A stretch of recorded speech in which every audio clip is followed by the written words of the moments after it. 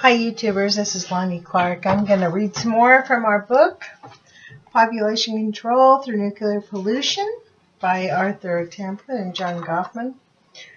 I'm not going to make any comments. I just ranted for 20 minutes or so. I'm sorry about that, but honestly, the seals are dying, and they're saying it's a mystery five nuclear meltdowns going on in Fukushima, Sellafield, Hanford. The entire northern hemisphere is polluted with nuclear contamination. And they're wondering why the seals are dying. Mystery, mystery. So it, it pushes me to read the rest of this book. We are on chapter 5, Lip Service to the Public Health. And don't you love my double glasses? I do. We're on page 92, Mythologies of Rationalization. In the atomic energy field, but by no means limited to it, promoters have carefully cultivated what we would call mythologies of rationalization. BP, hello. Consciously or unconsciously developed, these mythologies can be most properly be regarded as an invention to serve the purposes of a promoter of technology. The mythology must provide some hope that the pessimistic hazards will somehow disappear or never appear. If this hope is provided, it is the most elementary step in the world for the promoter, even the quote, protector, unquote, to gradually translate by rationalization that hope into a belief and a belief into a fact, i.e., no climate change by uh, the energy cartel.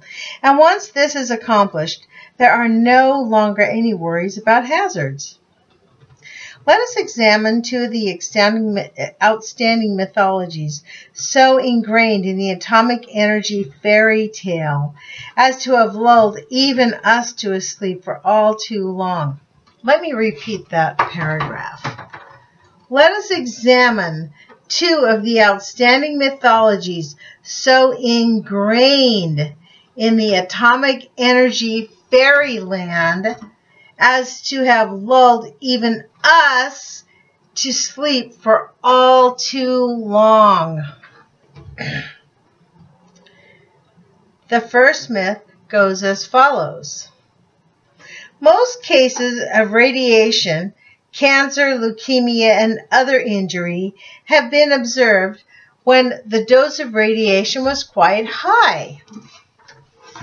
This was true up until recently.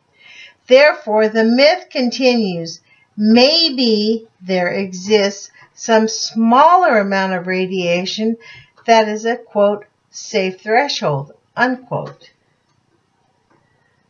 By this is meant that possible cancer, leukemia, or even more a deadly genetic injury won't occur provided that the total radiation dose is kept below some, quote, magical, unquote, number. Certainly, this is a most convenient hope, especially for atomic energy promoters. But it is a, a, hope unsupported by any, unsupported by any, repeat by my, by me, unsupported by any scientific evidence. But it is a hope unsupported by any unscientific evidence numerous supposed items of evidence which have been brought forward to support, support the hope of a quote safe threshold unquote have been discredited by numerous reputable scientists repeatedly. Get that, you guys? Hello, Art Robinson.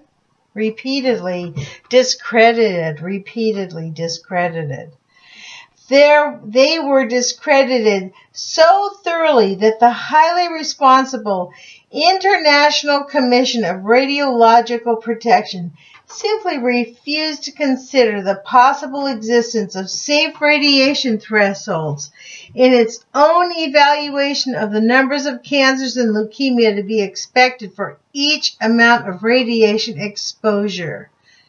Do you get this? Listen to this. The highly responsible International Commission on Radiological Protection simply refused simply refused to consider the possible existence of safe radiation thresholds. Simply refused to consider the possible existence of safe radiation thresholds. You get that? The highly responsible International Commission on Radiological Protection simply refused to consider the possible existence of safe radio, radiation thresholds in its own evaluation of numbers of cancers and leukemias to be expected for each amount of radiation exposure. Even the Federal Radiation Council refused to consider acceptable any evidence for a quote safe threshold unquote of radiation. Wow. But the promoters of atomic energy technology keep hoping that somehow, somewhere, evidence will be developed that a quote, safe, unquote, amount of radiation exists.